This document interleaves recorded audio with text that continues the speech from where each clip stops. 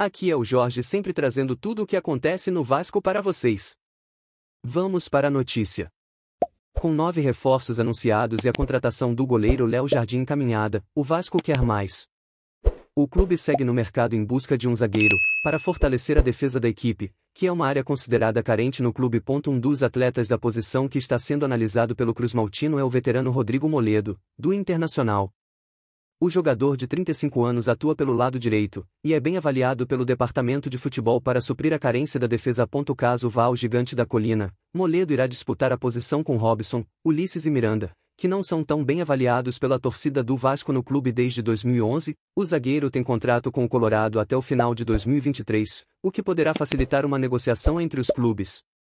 Atenção, deixe seu like agora para me ajudar a crescer o canal e trazer mais vídeos sobre o Vasco todos os dias para vocês. Obrigado. Nascido no Rio de Janeiro, Moledo se animou com a possibilidade de retornar à sua cidade natal já no primeiro contato.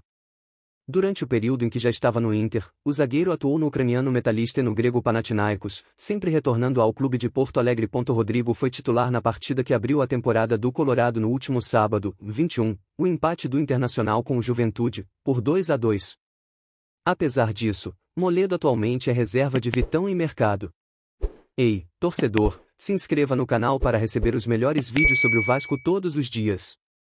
Logo logo eu volto trazendo mais notícias em primeira mão.